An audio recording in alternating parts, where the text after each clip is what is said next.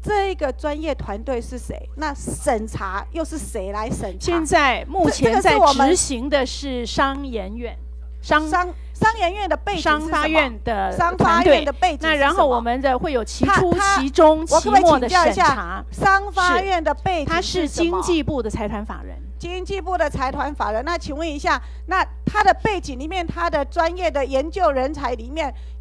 有多少比例是跟流行产业、展演产业有关系？我我现在要了解的是，到底你们委托他研究的这个机构、这个单位，到底了不了解所谓的台湾的流行音乐也好，或是流行产业也好？它本身它要来帮我们建立制度哦。不是对的，它本身当然有它的专业基础。那然后对于它不是专业的部分，它必须去做各种的咨询。我们现在很担心的是，刚刚委员提到的。当你委外的时候，这个委外的单位专不专业？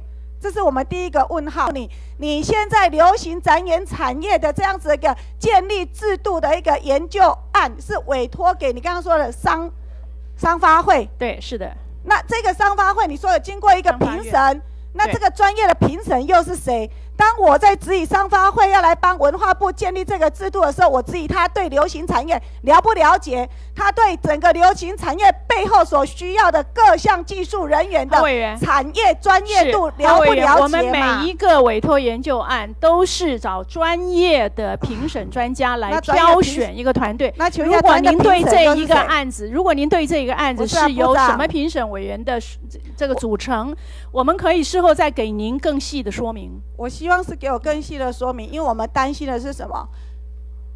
这样子如果不具专业的一个研究机构也好，或是评审也好，他来告诉文化部说未来的政策制度的建立是该怎么做，那难怪会引起现在这么多流行产业界的人的担忧啊！是这个问题呀，好，那那请问一下。你们有没有去想过，说未来是由谁来做鉴定的这个工作？是又委外吗？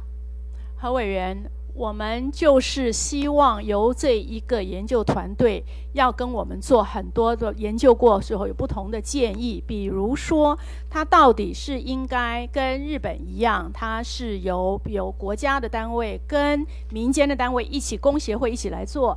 或者是说跟呃跟韩国一样，它是完全由国家的单位来做，这是这个研究团队，他必须跟我们提具体的建议。那那我就然后我们会有经过评审，然后到最后才做。那那我正在请教，你刚刚讲的这两个都有公部门的角色嘛？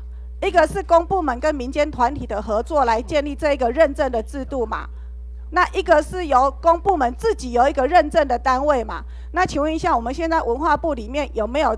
这样子一个专家或人才可以来担任这个认证，不管是不是跟民间团体合作，或者是我们自己来认证，我们有吗？何委员。